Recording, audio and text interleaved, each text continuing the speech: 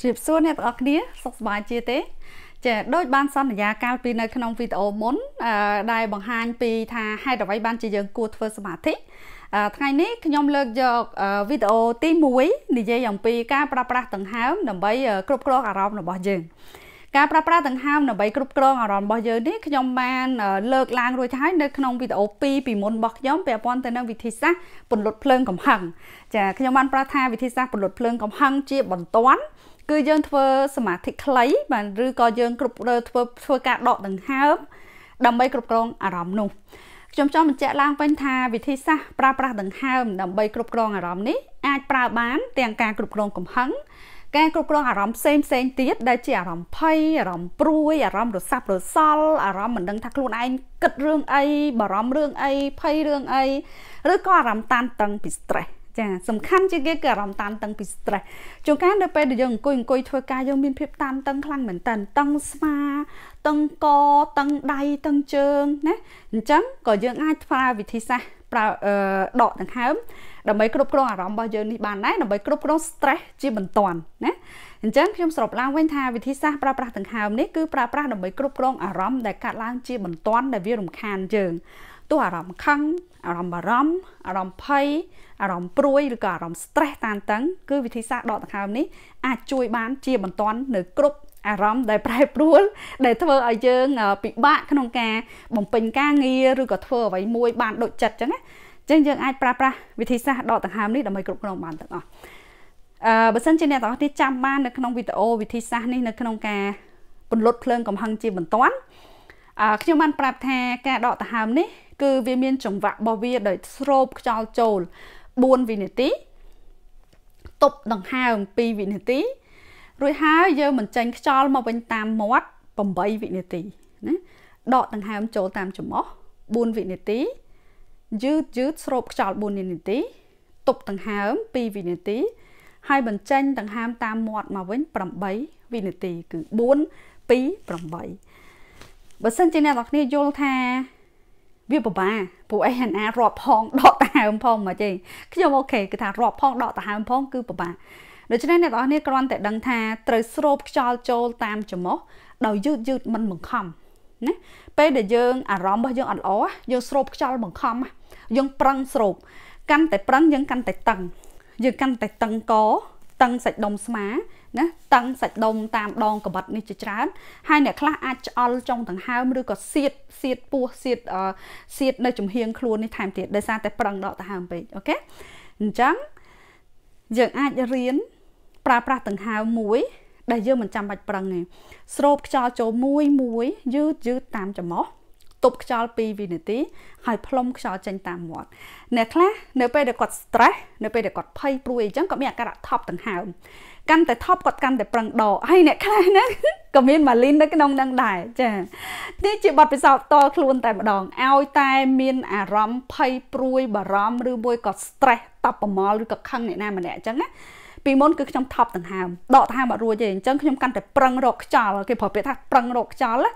កាន់តែប្រឹងដករកខ្យល់គឺកាន់តែតឹងតឹងកតឹងស្មាចុករយកដោយអ្នកលើសឈាមអីចឹងណាចាតឹងកតឹងស្មាហើយតឹងតាមតាមទ្រូងនឹងជាដើម អញ្ចឹងយើងត្រូវរៀនដកដង្ហើមដែលមិនបាច់ប្រឹងត្រូវជឿរាងកាយរបស់យើងរាងកាយរបស់យើងមានលទ្ធភាពដកដង្ហើមដោយខ្លួនឯងដែលអត់ចាំបាច់យើងនឹងប្រឹងដើម្បីដកឯងដង្ហើមគឺជាដំណើរធម្មជាតិអូខេជឿខ្ញុំមិនបាច់ប្រឹងរកខ្យល់ទេចាអញ្ចឹងយើងចូលដល់ការរៀនដកដង្ហើមរបស់យើងតែយើងត្រូវធ្វើយ៉ាងម៉េចអឺនៅពេលដែលយើងមានអារម្មណ៍នោះចូលមកដល់ភ្លាមអារម្មណ៍អីក៏ដោយដែរអាចថាយើងអត់ទាន់ដឹងឬក៏យើងដឹងហើយទោះជាអារម្មណ៍ខឹងអារម្មណ៍ភ័យអារម្មណ៍ព្រួយអារម្មណ៍អីក៏ដោយដែរ យើងអាចអង្គុយចុះណាយើងដាក់ជើងទាំងពីររបស់យើងបញ្ឈរជង្គង់ឲ្យស្របអញ្ចឹងហើយអឺសំខាន់គឺបាតជើងយើងទាំងពីរហ្នឹងស្របជាមួយស្មាយើងកុំលាតណាយើងដាក់ជើងឲ្យឃ្លាតចេញពីគ្នាបន្តិចចឹងទៅចាឃ្លាតចេញពីគ្នាហ្នឹងគឺប្រហែលទៅនឹងបាតជើងរបស់យើងហើយនឹងស្មាយើងហ្នឹងគឺស្ថិតនៅលើខ្សែបន្ទាត់តែមួយណាជង្គង់ស្មាជង្គង់រហូតដល់បាតជើងរបស់យើងចារួចហើយ យើងតាំងទីឲ្យស្រួលខ្លួនរបស់យើងអញ្ចឹងទៅបើសិនជាអ្នកខ្លះគាត់ដើរដើម្បីរងាប់អារម្មណ៍ក៏បានដែរដើរឲ្យដកដង្ហើមវែងវែងអញ្ចឹងបានដូចគ្នាចាអឺអ្នកខ្លះគាត់ចូលចិត្តរត់អាចទៅរត់ហើយដកដង្ហើមតាមចង្វាក់រត់របស់ខ្លួនឯងក៏បានដែរឲ្យតែជាវិធីសាស្ត្ររបស់ខ្លួនអូខេសម្រាប់ខ្ញុំគឺខ្ញុំចូលចិត្តអង្គុយចុះបែបនេះព្រោះថាបើរត់ផងដើរផងដកដង្ហើមផងហ្នឹងម៉ាលីនរកខ្យល់ចាអញ្ចឹងម៉ាលីនចូលចិត្តអង្គុយចុះបែបនេះចាអញ្ចឹងយើងអង្គុយចុះ ណាយើងសម្រួលអេយ៉ាបត់របស់យើងពុតខ្លួនពុតប្រាណរបស់យើងដើម្បីបន្ធូរសាច់ដុំរបស់យើងអញ្ចឹងណាចានៅពេលដែលយើងបន្ធូរសាច់ដុំរបស់យើងរួចហើយយើងនឹងចាប់ផ្ដើមធ្វើការដកដង្ហើមនោះទាំងអស់គ្នាយើងស្រូបខ្យល់ចូល4វិនាទីទប់ខ្យល់2វិនាទីហើយបញ្ចេញខ្យល់មកវិញ8វិនាទីហើយចងចាំថា នៅពេលដែលយើងដកដង្ហើមចូលយើងស្វែងយល់ថាអារម្មណ៍របស់យើងអីគេ នៅពេលដែលយើងផ្លុំខ្យល់ចេញមកវិញគឺយើងបញ្ចេញនៅអារម្មណ៍ភ័យអារម្មណ៍ព្រួយ អារម្មណ៍ក្តៅកគុកអារម្មណ៍រសាប់រសល់អារម្មណ៍តប់ប្រមល់ណាអារម្មណ៍រញ៉េរញ៉ៃរញ៉េមរញ៉ាមពេញខួរក្បាលរបស់យើងហ្នឹងគឺនឹងត្រូវបានបញ្ចេញមកទាំងអស់តាមរយៈខ្យល់ដង្ហើមរបស់យើងអូខេអញ្ចឹងយើងនឹងធ្វើការដកដង្ហើមនោះទាំងអស់គ្នាចានៅពេលដែលអ្នកទាំងអស់គ្នាអង្គុយចុះ បានត្រង់ខ្លួនហើយចាត្រង់ខ្លួនមានន័យថាមិនកោងអោនឈ្មោះទៅមុខហើយក៏មិនអែនខ្លួនទៅក្រោយចឹងដែរណាខ្នងត្រង់គឺជាខ្នងដែលឆ្អឹងកងខ្នងទាំងអស់របស់យើងហ្នឹងវានៅត្រលើគ្នាតាមរៀងអក្សរ S របស់វាឆ្អឹងខ្នងយើងវាអត់ត្រង់ភ្លឹងទេណាតែវារៀងអក្សរ S បន្តិចអញ្ចឹងយើងអង្គុយយ៉ាងណា ដែលយើងមានអារម្មណ៍ថា ឆ្អឹងខ្នងរបស់យើងនឹងត្រគ្នាពីមួយទៅមួយពីក្រោមរហូតដល់លើអ្នកនរគ្នាថាវាមិនដែលយើងដឹងកើតប៉ុន្តែអត់ទេអ្នកនរគ្នាយកចិត្តទុកដាក់បន្តិចពីរាងកាយរបស់យើងអ្នកនរគ្នានឹងអាចដឹងបានអូខេអញ្ចឹងនៅពេលដែលយើងអង្គុយខ្នងត្រង់អញ្ចឹងហើយណាយើងចាប់ផ្ដើមបន្ធូរសាច់ដុំរបស់យើង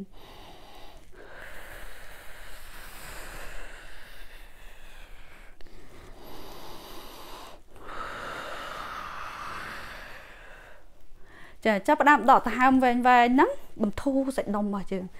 ដកដង្ហើមចូល4វិនាទីផ្លុំខ្យល់ចេញ8វិនាទីណា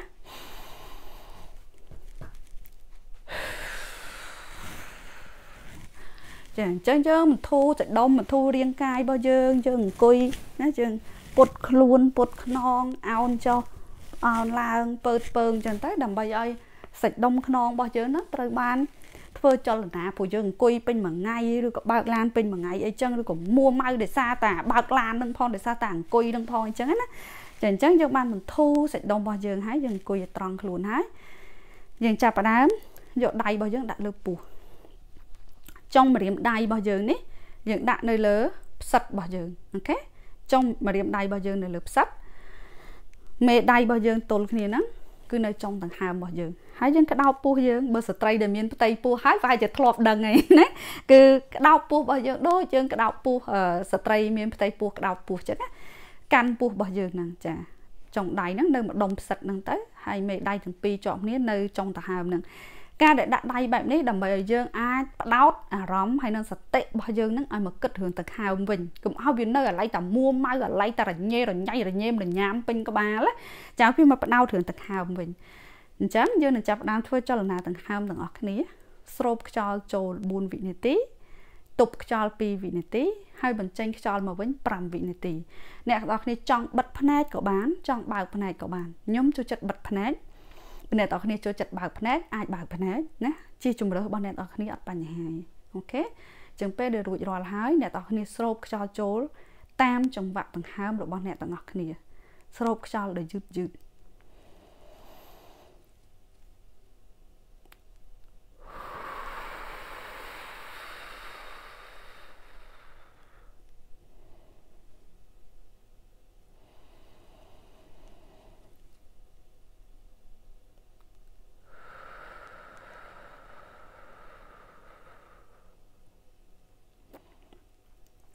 ពេលអ្នកទាំងអស់គ្នាស្រូបខ្យល់ចូលអ្នកទាំងអស់គ្នាដឹងថាពោះរបស់អ្នកទាំងអស់គ្នាត្រូវបានប៉ោងដោយសារតែខ្យល់ចូលទៅក្នុងសួតហើយរុញពោះរបស់យើងឲ្យប៉ោងនៅពេលដែលអ្នកទាំងអស់គ្នាបញ្ចេញខ្យល់មកវិញអ្នកទាំងអស់គ្នាដឹងថាពោះរបស់អ្នកទាំងអស់គ្នាត្រូវបានធូរស្រាលដោយសារតែខ្យល់ចេញមកវិញអស់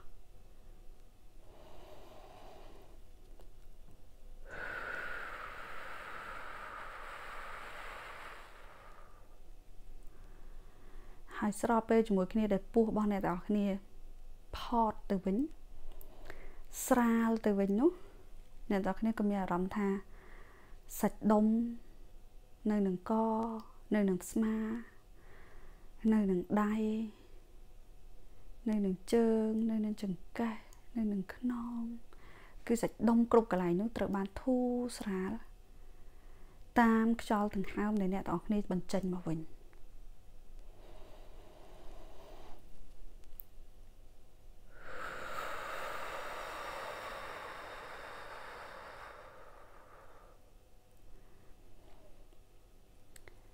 នៅ ពេលដែលអ្នកទាំងអស់គ្នាដកដង្ហើមម្ដងម្ដងអ្នកទាំងអស់គ្នាចាប់ផ្ដើមរកថាអារម្មណ៍អីគេ កំពុងខឹងខឹងអ្នកណាគេខឹងដោយសារអីខឹងដោយសារតែព្រួយពីអ្នកនោះខឹងដោយសារតែបារម្ភពីអ្នកនោះខឹងដោយសារតែអ្នកនោះជាមនុស្សមិនល្អឬមួយក៏អ្នកទាំងអស់គ្នា បានដឹងហើយថាអារម្មណ៍នោះជាអារម្មណ៍បារម្ភ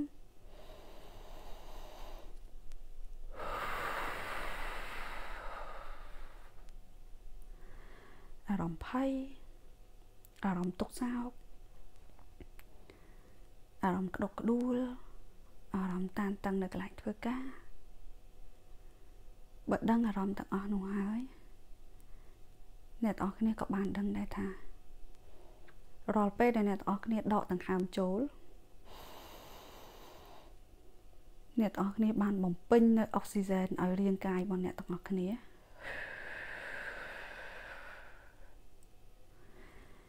ហើយពេលដែលបញ្ចេញខ្យល់មកវិញគឺបានបញ្ចេញនៅឧស្ម័នកាបូនិកដែលជាឧស្ម័នពុលចេញពីរាងកាយរបស់អ្នកទាំងអស់គ្នារាងកាយយើងបានសម្រាកទទួលបានអុកស៊ីហ្សែនគ្រប់គ្រាន់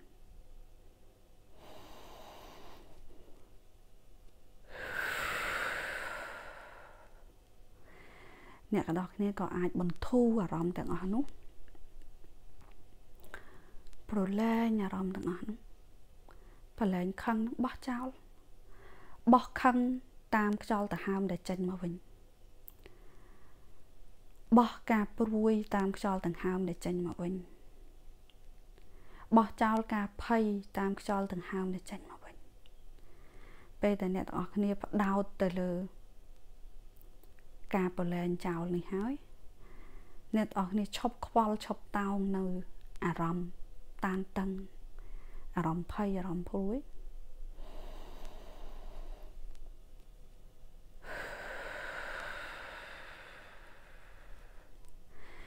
អ្នកទាំងអស់គ្នានឹងបានដឹងថាអារម្មណ៍របស់អ្នកទាំងអស់គ្នាធូរស្រាលដូចសាច់ដុំរបស់អ្នកទាំងអស់គ្នាដែលបានប្រឡែងនៅភាពតានតឹងតាមខ្យល់ដង្ហើមដែលអ្នកទាំងអស់គ្នាបញ្ចេញមកវិញ រាល់ការបញ្ចេញខ្យល់ដង្ហើមមកវិញសាច់ដុំរបស់អ្នកទាំងអស់គ្នាបានធូរធូរស្រាលតាំងពីក្បាលដល់ចុងជើងអ្នកទាំងអស់គ្នាក៏បានទទួលអារម្មណ៍ថាអារម្មណ៍ដែលខឹងអារម្មណ៍ដែលភ័យអារម្មណ៍ដែលព្រួយអារម្មណ៍ដែលតានតឹងត្រូវបានបញ្ចេញឲ្យធូរស្រាលទៅតាមខ្យល់ដង្ហើមនោះដែរ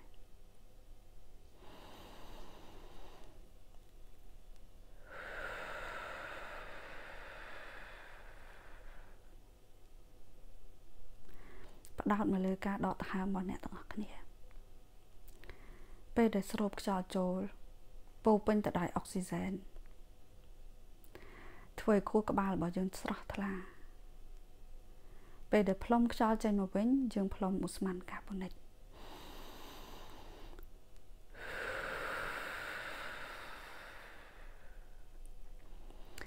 យើងមិនចេញនៅជាតិពុលយើងមិនចេញនៅអារម្មណ៍ពុល ចាទាំងជាតិពុលទាំងអារម្មណ៍ពុលទាំងអស់ដែលនៅក្នុងខ្លួនរបស់យើងត្រូវបានបញ្ចេញមកវិញដោយដង្ហើមរបស់យើង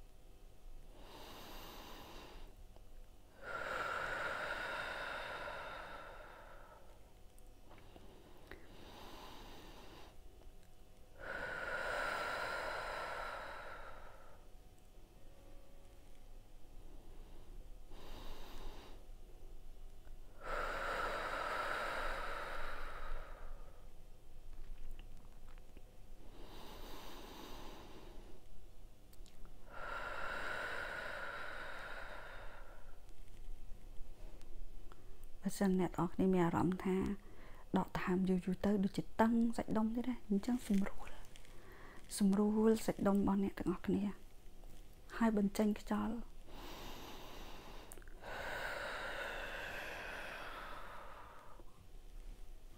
ពេលដែលបញ្ចេញទៅហាមកវិញស្រួលសាច់ដុំឲ្យធូរ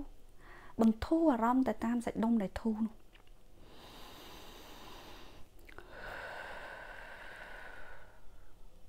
ចឹងនៅពេលដែលយើងមានអារម្មណ៍ថាបានធូរស្រាល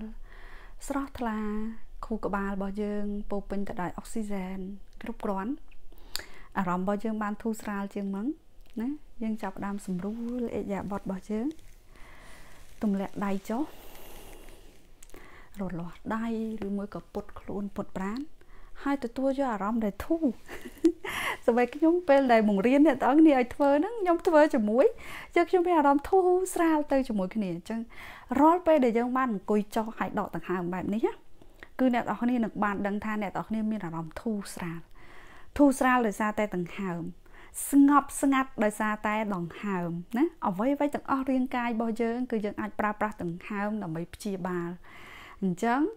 ខ្ញុំសង្ឃឹមថាវីដេអូនេះអាចជួយអ្នកទាំងអស់គ្នាបានណាក្នុងការថែរក្សាសុខភាពផ្លូវចិត្តរបស់យើងតាមរយៈការគ្រប់គ្រងអារម្មណ៍របស់យើងជាបន្ទាន់ឥឡូវដល់ពេលដកទៅហើមស្ងប់អារម្មណ៍ស្ងប់នេះទៅ ពេលដែលមកនិយាយវិញនិយាយឡើងចង់លឺមានអារម្មណ៍ថាស្ងប់ស្រួលមែនតើចាអញ្ចឹងខ្ញុំសង្ឃឹមថាអ្នកទាំងអស់គ្នាអាចទទួលបានអារម្មណ៍ស្ងប់ស្រួលអញ្ចឹងដែរកុំភ្លេចណាទោះបីជាយើងមានអារម្មណ៍អីក៏ដោយខឹងតបប្រមល់ ធុញទ្រាន់មួម៉ៅឆេវឆាវអារម្មណ៍អីក៏ដោយដែលជាអារម្មណ៍កើតមកភ្លាមភ្លាមហើយរំខានដល់ជីវិតរបស់យើងអង្គុយចុះអង្គុយចុះដកដង្ហើមមួយមួយណាបោះផ្លុំខ្យល់ចេញតាមមាត់ដើម្បីបន្ធូរនៅភាពតានតឹងនោះតាមរយៈការបន្ធូរសាច់ដុំរបស់យើង តាមរយៈឲ្យពេលខ្លួនឯងសម្រាកណា ជឿសង្ឃឹមថាអ្នកទាំងអស់គ្នានឹងមានសុខភាពផ្លូវចិត្តប្រសើរឡើងហើយនឹងមានអារម្មណ៍មូលក្នុងការធ្វើការអារម្មណ៍មូលក្នុងការបំពេញនៅភារកិច្ចចិញ្ចឹមជីវិតរបស់យើងជាប្រចាំបន្តទៅទៀតនិយាយចុះនិយាយឡើងពង្រឹងកម្លាំងពេលនៅមួយផ្លែដើម្បីទៅប្រយុទ្ធតទៀតប៉ុន្តែខ្ញុំនឹងមានវីដេអូផ្សេងទៀតដើម្បី ជួយអ្នកទាំងអស់គ្នាឲ្យឈប់ប្រយុទ្ធតទៅទៀតចាឈប់ប្រយុទ្ធតទៅទៀតតែរស់នៅដោយរីករាយរស់នៅដែលមានសុភមង្គលរស់នៅដែលមានសេចក្តីសុខជីវិតរបស់មនុស្សអត់ចាំបាច់ប្រយុទ្ធជាប្រចាំទេអូខេកុំបាច់រឿងវែងឆ្ងាយយូរយើងនឹងជួបគ្នានៅវីដេអូផ្សេងទៀតហើយកុំភ្លេចណាបើសិនជាចូលចិត្តជួយឲ្យមេដៃផងហើយបើយល់ថាមានប្រយោជន៍សម្រាប់អ្នកផ្សេងទៀតជួយ share ទៅឲ្យគ្នាផងដើម្បីឲ្យគ្នាអាច យល់ដឹងបានរៀនទាំងអស់គ្នាផងដែរចាអូហើយមានចំណុចមួយទៀតនៅក្នុង Facebook បើសិនជាអ្នកទាំងអស់គ្នា បើក link របស់ខ្ញុំតាម Facebook អឺពេលដែលបើកមកគឺអត់ចូល channel YouTube របស់ខ្ញុំហ្មងឯងវានៅក្នុងអឺអឺយើងហៅអីគេអឺនៅក្នុង apps ដែលមិនមែនជាមិនមែនជា app YouTube អូខេអញ្ចឹងអ្នកនរគ្នាអាច click click នៅលើពាក្យ open apps ណា open app នៅខាងលើណានៅលើអេក្រង់របស់អ្នកនរគ្នាមានពាក្យ open app មួយអញ្ចឹង click នៅលើពាក្យ open app ហ្នឹងទៅអ្នកនរគ្នានឹងចូលទៅកាន់ channel YouTube របស់ខ្ញុំពិតប្រាកដហើយហើយអ្នកនរអញ្ចឹងអ្នកនរគ្នាអាច like អ្នកនរគ្នាអាច comment ឬក៏អ្នកនរគ្នាអាច subscribe កាន់តែល្អហើយនឹងអាច share ទៅកាន់